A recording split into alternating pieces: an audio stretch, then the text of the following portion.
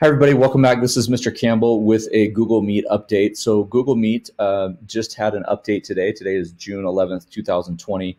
You can read more about this in the G Suite updates.googleblog.com. Um, There's two big updates that they've done. So, they've they've rearranged their layout. Um, so, when you're presenting a screen, you're going to get something like this. So, what happens is the screen or the window or the tab that you're presenting will be above everybody else or over to the side. I just wanted to show you what that looks like.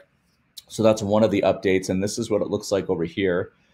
So this these are the five guests. This is me presenting in, and you can see this is the screen that I'm presenting. Because I'm recording, it's a little bit uh, wonky right now, but this is the presenting screen. I have all of the members here. If I were to add other members, it would slide across that bottom bar and focus in. So this is going to be the big window, and all of the participants are going to be here.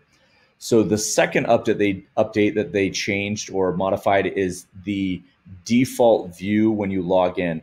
So what happened previously to this is every time you logged into a new Google Meet, um, what you had to do is you had to come down here to settings and change your layout and it would default back to auto every time. What it does now is it's through Google Chrome is when you select on sidebar or spotlight or tiled, it automatically saves that. So when you enter another meet or as your default the next time you open it. So those are two quick updates just for you using Google Meet. If you have any questions, go ahead and leave them in the um, comments down below.